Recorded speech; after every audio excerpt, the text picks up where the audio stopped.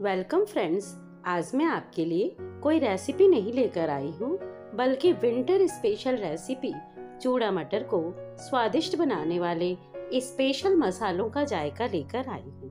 तो फ्रेंड्स आज मैं आपको बताऊँगी कि स्वादिष्ट चूड़ा मटर बनाने का मसाला आप घर पर ही बड़ी आसानी से कैसे तैयार कर सकते हैं।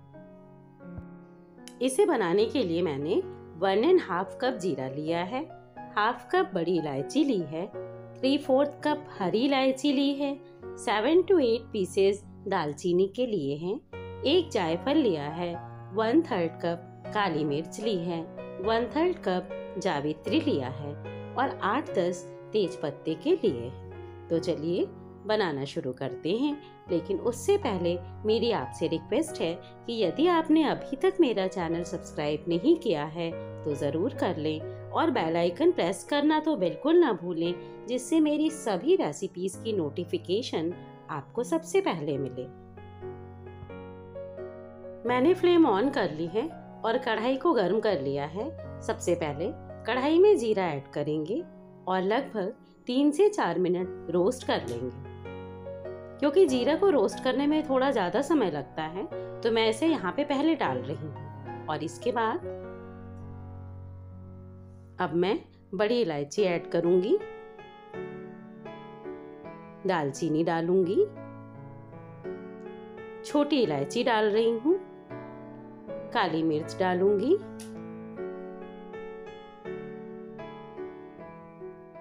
नेक्स्ट मैं जावित्री ऐड करूँगी। और अब तेज पत्ता डाल रही हूँ। और लास्ट में मैं जायफल को छोटे पीसेस में करके यहाँ पे ऐड कर रही हूँ। और लगभग तीन से चार मिनट ड्राई रोस्ट कर लेंगे। मसालों को रोस्ट कर लेने से ये अच्छे से पिस जाते हैं और इनका फ्लेवर भी बहुत अच्छा सा आता है। और अब लगभग चार मिनट हो गए हैं तो इन्हें हम एक प्लेट में ट्रांसफ़र कर लेंगे और ठंडा होने के लिए रख देंगे। अब मसाले ठंडे हो गए हैं तो एक ग्राइंडर जार लेकर उसमें सारे मसालों को ऐड कर लेंगे।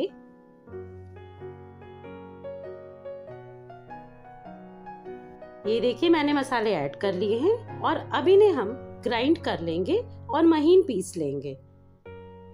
ये पीस गए हैं तो इन्हें अब हम एक बॉल में ट्रांसफ़र कर लेंगे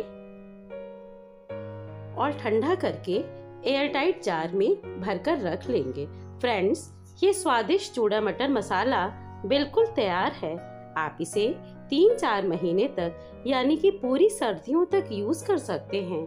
आप भी इस रेसिपी को ज़रूर ट्राई करें और कमेंट में अपना एक्सपीरियंस शेयर करें। साथ ही लाइक एंड शेयर करें। Good bye friends and thanks for watching this video